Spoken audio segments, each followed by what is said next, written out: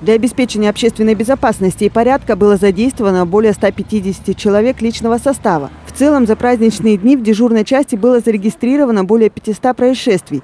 Лидируют в этом списке семейные конфликты. 245 раз сотрудники полиции выезжали на семейные скандалы.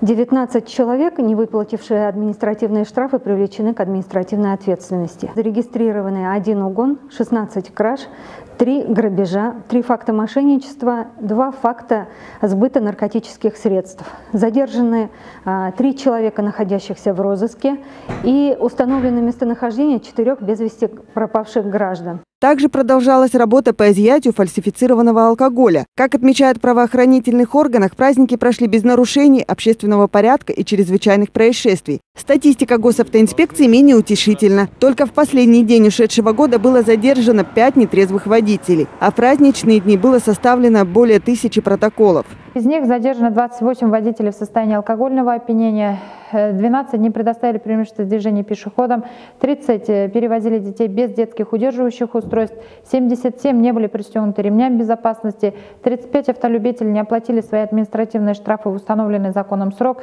23 э, управляли своими автомобилями с тонированными стеклами, 15 нарушений среди водителей автобусов, 12 протоколов было составлено и на пеших участников дорожного движения. Также с 1 по 8 января было зарегистрировано 17 дорожно-транспортных происшествий. К счастью, все они обошлись без пострадавших.